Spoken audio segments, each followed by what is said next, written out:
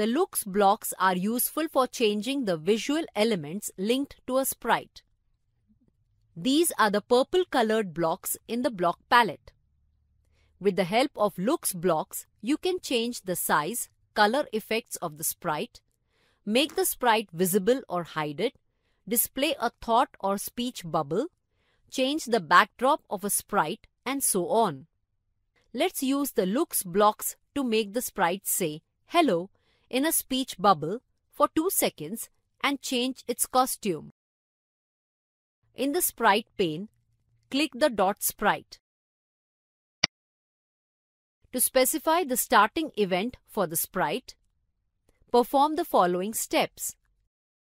From the Code tab on the left pane, click on the Events icon.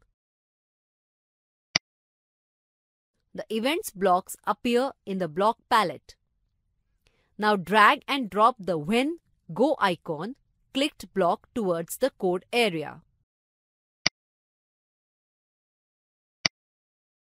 To make the sprite say hello, follow these steps. From the Code tab, click the Looks icon.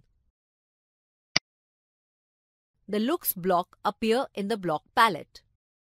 Drag and drop the Say Hello for 2 seconds block to the code area and place it below the When Go icon clicked block. To change the costume of the sprite, from the block palette, drag and drop the next costume block to the code area and place it below the Say Hello for 2 seconds block.